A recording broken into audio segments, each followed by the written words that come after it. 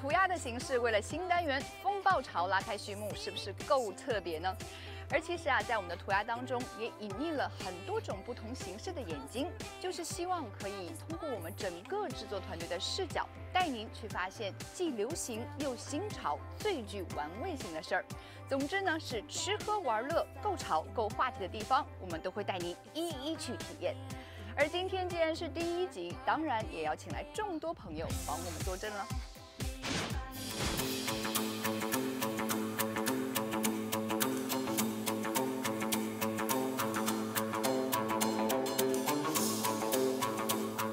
我说的朋友们呢，就是这一些仿真度极高的 3D 公仔，他们全部都是用 3D 打印机打印出来的，有没有觉得特别逼真？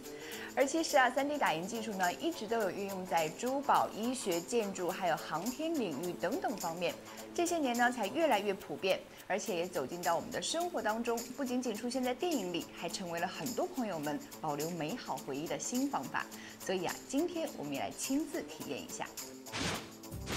做 3D 公仔啊，首先呢就是要拿我的三维数据。不过大家不要想歪，不是我的三维数字，但其实啊是要比三维数字更加精确的 3D 数据。但首先呢，还是要摆一个漂亮的 pose。工作人员先用手提三维扫描仪器全方位收集数据。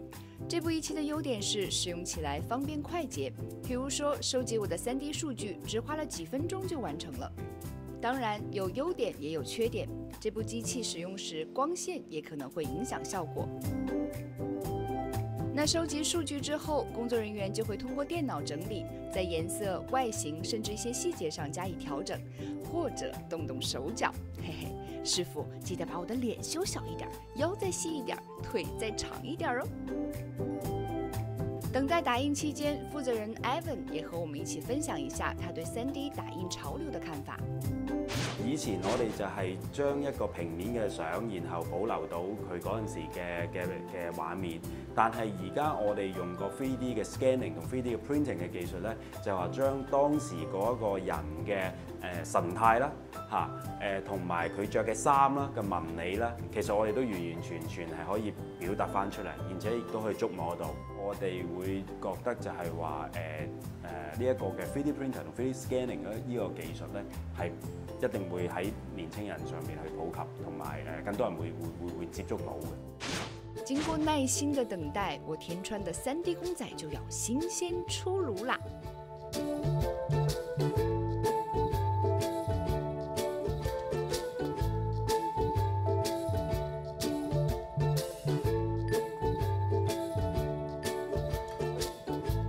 天哪，快看！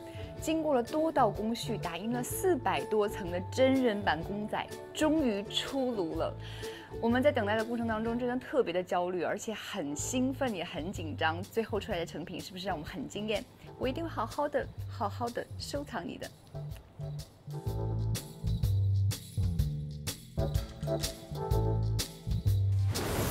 那大概是六七年前，我还在伦敦读书的时候，第一次接触了 3D 打印技术。可是那个时候呢，还局限于一些工业的设计和应用之上。不过发展到现在，我们可以很容易的通过家用的 3D 打印技术去展现我们的创意，比如说打印一副我们自己设计的塑胶眼镜框等等。从曾经去提高我们的工作效率，到增加了我们的生活情趣，我相信啊，3D 打印技术肯定会越来越被大家接受，并且成为我们生活当中密不可分的一部分。那今天呢，我们和大家一起来体验了 3D 打印技术，下一次又有什么惊喜带给你？让我们一起期待吧。